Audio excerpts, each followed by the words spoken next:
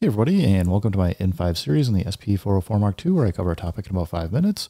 Lo-Fi for Life wrote in about a month ago asking how to control an SP303 from the SP404 Mark II. And while I did like a video in the past showing a bit how it worked, um, definitely with like the firmware 3.0 stuff, and I haven't gotten back to talking about it, I figured it's worth uh, trying to get into again.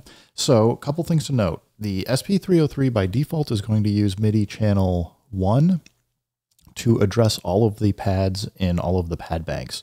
So the S in the SP404 Mark II, if you're in MIDI mode A, will only be able to address uh, banks A and B. That may not matter for you if you don't have the uh, memory card. Then you're not going to be able to address banks C and D anyway. So if that's the case, then using it in MIDI type A just to address the first uh, 16 pads, the 8 on A and the 8 on B might be fine. Um, that said, um, let's just go over really quick the settings I have on my SP404 Mark II and why I set them this way.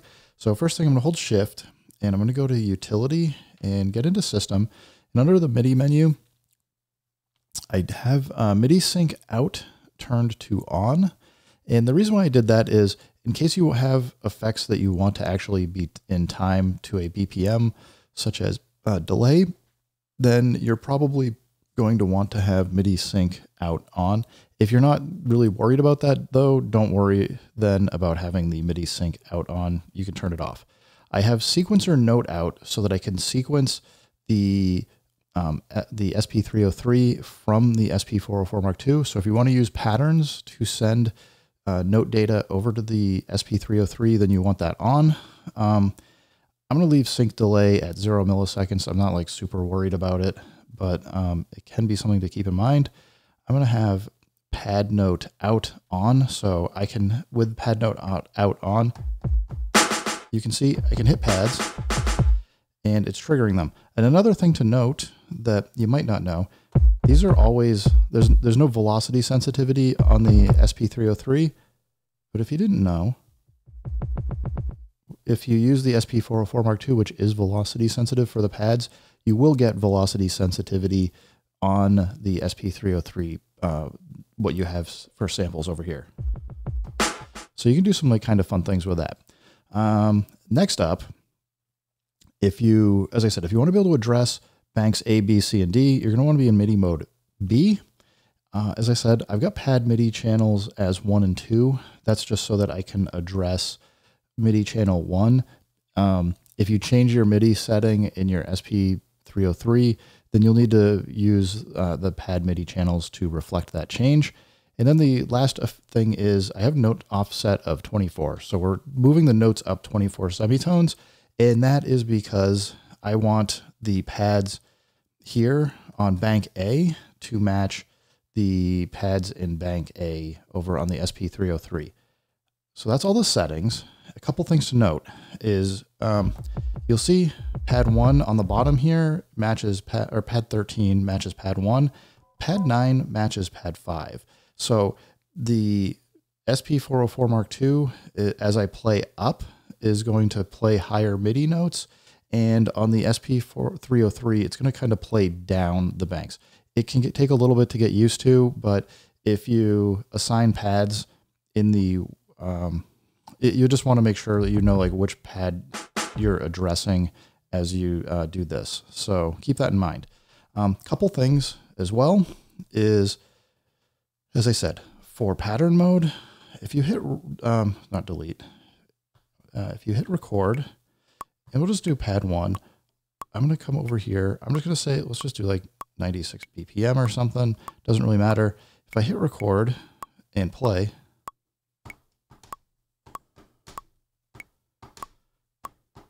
two things. One, you can see it didn't actually record these notes. And the reason why is because there's no samples on these pads. So that can be like a, a little bit of a problem. Number two, as you can see, it didn't actually um, you can't hear them because the external source is off. And this is something that I hope Roland will come in and fix. But what's going to happen is I hit this and now I can play.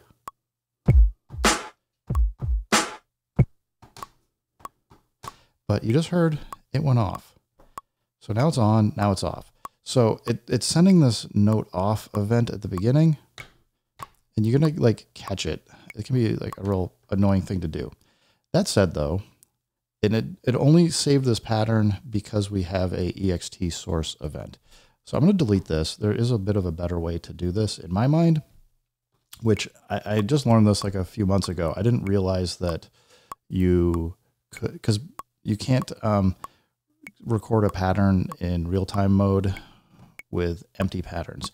Anyway, if we go into TR-REC mode, we can now record, um, if we hold subpad, we can select different pads. And now I can actually come in and make a loop and send over notes. So you can see it's sending notes. The problem we still have though is we don't have ext source on. So if you hold subpad, hit ext source, we can just trigger ext source coming on. Now you'll see it just lets that first note through. That's because the gate, it's got, basically it's treating it as it as if it has a gate. We need to hit remain and turn that off and do this. So with la if you have ext source with last step, it will just kind of keep self-propagating itself. Now, let's exit out. We're now not in TRF mode, and it, we still are playing, and we still have this pattern. So we can now play this pattern whenever we want. And as I said, just to show you the rest of this. So if we go to bank B, this is these uh, on bank A here, bank B here, these pads are going to follow into bank B. And again, we can't hear them because the ext source keeps going off. I don't know why. I don't want gate on for that. Okay. So you can see like I've got like different things recorded here. And if you want to get to bank C and D, basically you just move to bank B and then you start down at the bottom again.